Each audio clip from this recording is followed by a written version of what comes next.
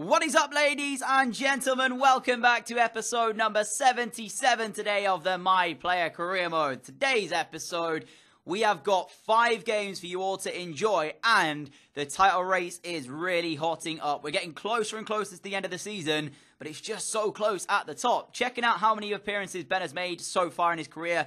He's played 256 games and he's been part of 100 and what 30 no 100 yeah 130 uh, 233 goals sorry within those games. My maths today is not the strong point, but regardless, I want to say as well thank you for your continued support. I might be live streaming later on. Um, the, the beauty about it as well, guys, is that I'm hopefully going to get some of you involved in the live stream because later on when I go live. I want to make it like a kind of live stream sub special type thing. So if I do go live, you will know what we're going to be doing. But if I don't, then I apologize. I need to get the thumbnail sorted for it, and we'll go live later on at probably 5 or 6 p.m. UK time. That's the aim, anyways. And it's going to be quite fun because obviously I've had a lot of people in the past asking me, can I do stuff with subscribers? Can we can we play games together? So I've decided, you know what, as a live stream kind of fun thing, I am going to be trying to do that later on. So do tune in if you want to play. Unfortunately, it is only Xbox because I don't own a PlayStation. So for anybody who follows me on PlayStation, that might come later on, like, you know, down the line. But for now, it is just Xbox alone. Sorry, guys, to all of you PlayStation players, but you can still watch the stream and still enjoy it and take part that way. But, anyways, let's get into today's My Player episode. So, the first game comes in the Premier League against Watford, who in real life defeated Chelsea yesterday by four goals to one. But this game against Watford showcased just how bad United have been at creating chances this season because it took 71 minutes and the chance itself wasn't really a clear cut chance. Ben threw, but he makes the goalkeeper have to make a decent save.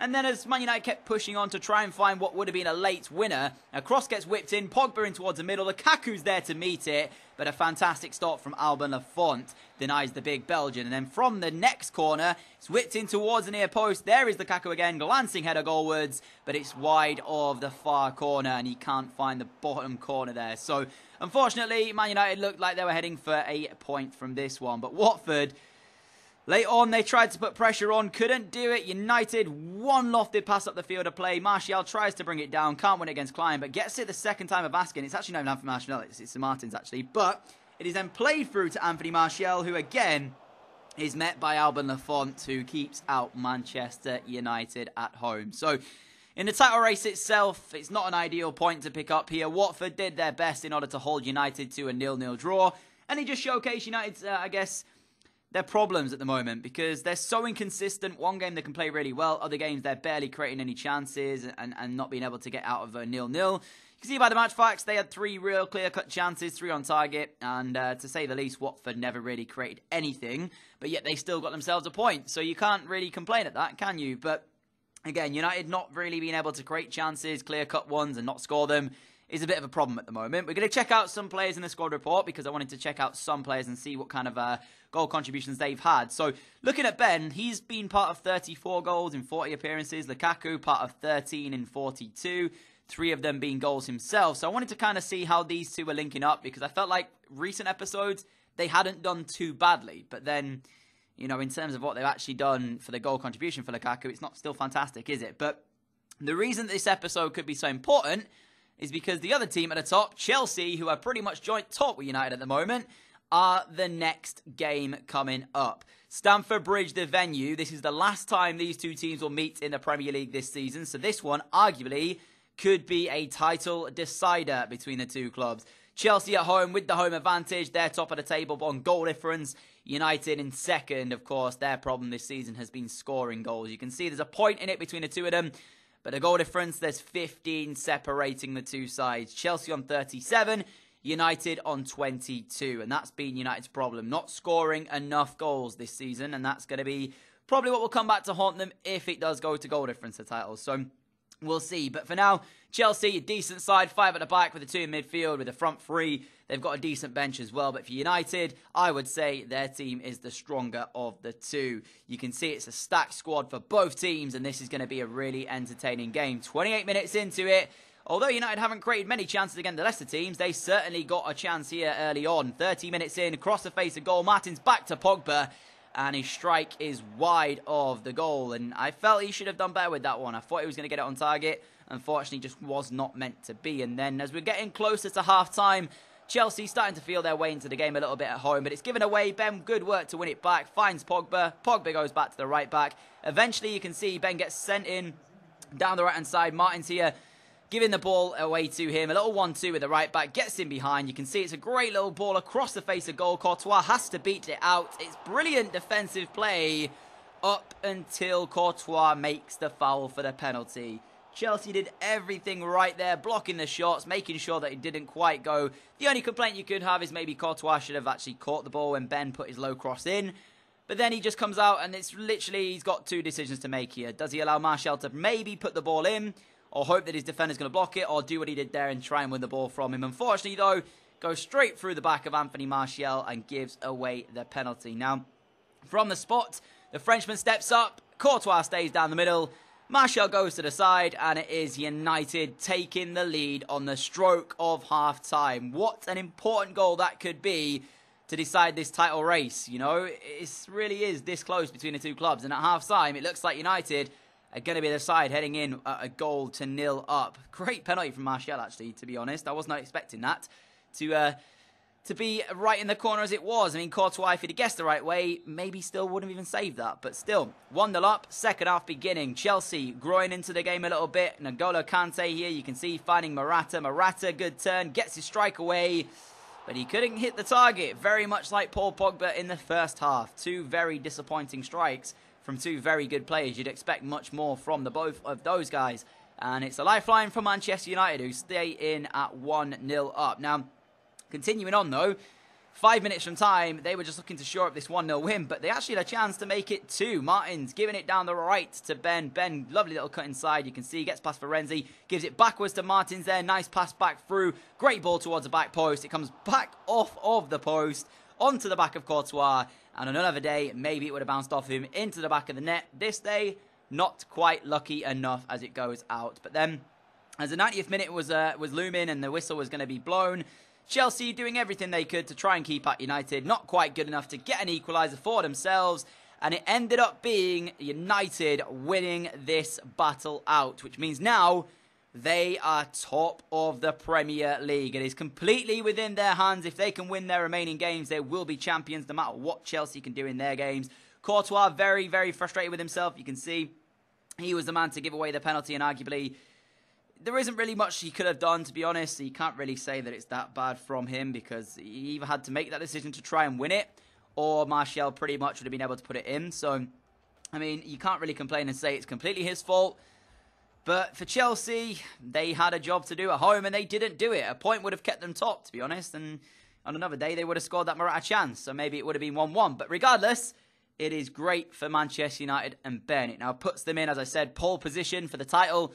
It is completely within their hands themselves. And I suppose now, as you're looking at the table, there's only, what, nine games to go? And if they win, I would say, seven of those nine, personally, I think that that'll be enough to be champions. So there is still some tough games to come, but United are in pole position and, and two points ahead they're five points ahead now, Spurs, who you can't really write out just yet because they're still within points distance of it. I'm saying it like the only two are in this are Chelsea and United, but it's not the case. Spurs are still within the shout as well, so we have to keep tabs on those guys. And speaking of Spurs, we're going to a different London club. Now it's the turn of West Ham United heading over to the London Stadium to take these guys on, and they've actually got a decent squad. They've made some good signings, and this might be quite tough for Manchester United here. Of course, off the back of a very good win by a goal to nil against Chelsea, You'd like to think they'd be able to keep momentum going and pick up another three points here. We're going to find out if that is the case. But as I said, going on to their signings they've made, they've got some very good players at the club. They've got Cillessen in between the sticks now. They've managed to lure him away from Barcelona, which I was surprised about as well. Of course, they usually have maybe a couple of players like Alban Lafont I've seen there before, but he's, of course, now Watford instead. And they've got some interesting players as well outfield. If we take a look at their side, Cillessen, as I said, they've got Sergio Roberto, formerly of Barca as well. Uh, Obiang Dendoncker, and uh, just it's a very, very decent side from West Ham, one that can be uh, can be good on their day. Now, for United, it's pretty much the same side that we're used to seeing, barring a couple of players coming into it. Milik, of course, up top as well. Not a bad replacement for Romelu, and he will do a decent job, I hope, in the side today. Now, the first chance actually fell the way of West Ham United. 14 minutes in, They gave away the ball down the right hand side, but then Ben gives it straight back to them. Sergio Roberto, good defensive work. Obiang finds its way through, and Lanzini with the strike sends it wide of the post, though, inside 16 minutes. It could have been a dream start for West Ham United. Not quite meant to be, though, because the strike from Lanzini wasn't on target. And we're seeing a recurring theme here players missing the target completely. On about that, actually, I wanted to say a couple of people have been asking me what the slider settings are. Everything is the same, barring the CPU goalkeeper, which is at 65 to make it more difficult to score, I guess. So that is what I play with. As Ben here, through on goal. Cillessen makes a good save to deny the young Englishman there from giving him the lead. And now, from the corner, it's going to get whipped in. But we know United's aerial presence from corners, not exactly the greatest. We haven't scored many of them this season. We haven't scored many goals this season, but someone who's close is that man again. Ben sends a right-footed shot goalwards. It came back off the top of the crossbar. I honestly expected that to be 1-0 to United. I was wheeling away in celebration, but unfortunately, the crossbar had other ideas. And as we move on with the game, you can see it is just United hounding on the pressure at this point. Trying to find that opening goal, but can't do it just yet. Until this man, Ben, got the ball in the centre of the pitch, beat his first man, little 1-2 with Martins, beat the second man, beat the third man, gets past him, goes through, he's through one on one, and it is so unfortunate for Cillessen because he makes a great one handed save. It just is so unlucky that the ball just trickles across the line and gives United the lead. I mean, for United, Dreamland, they had to score and they did it. And you can say as well, defending wise, not fantastic, but look at that. Cillessen was so close to keeping that effort out from Ben. On another day, he would have made that save and we wouldn't have scored. But for Ben, he's so happy to see it just trickling across the line as he's rolling, doing a roly-poly in the middle of the box there. I don't know what's going on with Ben. But regardless, he celebrates in style. And it is Manchester United who have taken the lead in this game. It's his 11th goal of the campaign so far for Ben. You can't really complain at that. But then, West Ham United decided, you know what? Anything you can do, we can do better. Pretty much like for like. Zivkovic goes through. It's a save by David De Gea. It falls straight to another West Ham United player. And it's 1-1. As soon as it went to 1-0, United just switch off, don't concentrate. The inconsistency comes back. And they concede uh, a goal that puts it back to 1-1 and is basically heading the game towards a point. So I spoke about their inconsistency. I'm going to keep talking about it because it's frustrating now. And again, you know, they were in pole position to take the three points from this one if they could defend, and they couldn't. And that's the reason now that they're only going to get a point out of this. And potentially that might send Chelsea back top of the Premier League division, which, in terms of a game, it's just frustrating because they were literally, what, 10 minutes away from registering the three points. They only had to defend, and they couldn't do that. So it's disappointing, but as it stands, it's not the end of the world because Chelsea did win, which means, of course, they are now joint top. So it is what it is. And I mean, as I said before, this won't be the end even with the victory against Chelsea literally just before that, I was always thinking to myself that we're still going to have a very, very close end to the season. So it is going to be very close, and we've still got a tough game to go against. I think we've still got to play Manchester City, maybe even Spurs again. So with eight games to go, I'm not too worried, even with that defeat, uh, even with the draw there. Unless we start losing games and losing games to teams that we just shouldn't lose against, then I still feel pretty confident heading into the last eight games that United might come out on top at the end of the season. But we'll see, of course, and there's the last game of the Premier League to come before we move into their first leg of the Champions League in a moment. And it will come at home against Brighton and Hove Albion. Speaking of games that they shouldn't lose, this one is one of them. Defeat against Brighton is inconceivable. It is ridiculous. If they lose this game, I know Brighton are having a decent season, they're sat 12, but for a United team that is challenging for the title, they cannot lose this game here. That is the only thing that they have to worry about. Do not lose against Brighton, otherwise you can pretty much kiss your title goodbye. That's the side that's going into it. It should be one that should be able to get the result. We'll see how it's going to pan out in just a moment here. Mourinho confident in his side. Brighton's team's not terrible. Few decent players in there, but overall, I've seen a couple of better sides, and I don't quite know how they are sat 12th at the moment, Brighton, but that's just me looking at it from that perspective. But from now, the first chance came the way of United. Lukaku, great play to Ben. Ben gets in behind, lovely little ball roll, keeps close control in the box. But his finishing, he's just a bit of a letdown, and that's not the way you want to go about scoring the opening goal of this game. Great play originally, and then he couldn't hit the target with his curling effort. Maybe he should have tried to square that possibly in towards the middle. But in the end, he chose to shoot, and it might have been the wrong decision. And as we move forward, second half got underway, and again, it was Ben on the ball. Lovely little ball to Lukaku. Lukaku to Anthony Martial. Tease his run towards the back post and he just couldn't miss. If he'd have missed that one, you could have said, see you later, mate, get off the pitch, because that would have been horrendous. But I have to say, for United, who were drawing this game nil-nil and looking like they're heading for another disappointing point, they actually kept their composure. They did very, very well indeed. I was kind of wondering originally why Lukaku here, when he's sent through by Ben, just doesn't try and take a touch and shoot that. But maybe that goes to the fact that he's only scored three goals this season, and maybe that's why he chose not to do it.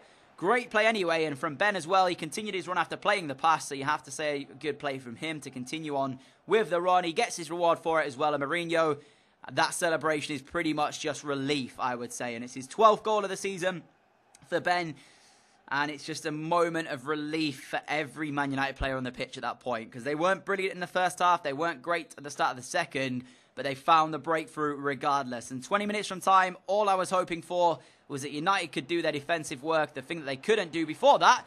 But they could have taken a second goal here as Ben again goes close with his right foot this time, denied by the post instead. And three minutes from time, Ben thought about taking it in the corner, decides to cross it instead. Punched away by the goalkeeper, but it's one back by a Manchester United man. He goes close again here. Great little piece of skill on the edge of the area, shot away. It's over the top of the crossbar, but as it stood, they were heading for what could be a big three points here. And uh, three points it was for Manchester United. So the worry about them defending kind of didn't come into play for me because they didn't have to do that much defending. Brighton never really did much in the way of attacking, and that's maybe the reason why they're sat 12. They've had kind of a comfortable season in the aspect that they haven't really threatened themselves, I would say. They didn't really commit many men forward, even after going 1 0 down. They didn't want to, you know, kind of lose the game by three or four, so they made sure they kept men behind. They're obviously thinking that maybe goal difference is going to play a part, but overall, it's been a decent season for Brighton. They can hold their heads high. They, they're finishing in at least 12th, or I would say 14th position.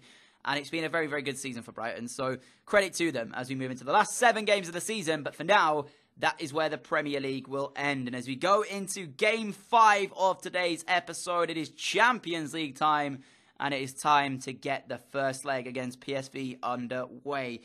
Of course, United, they're holders of the Champions League. We don't want to bring Ben to United and have the situation where they're knocked out because of Ben. So they've obviously won it before.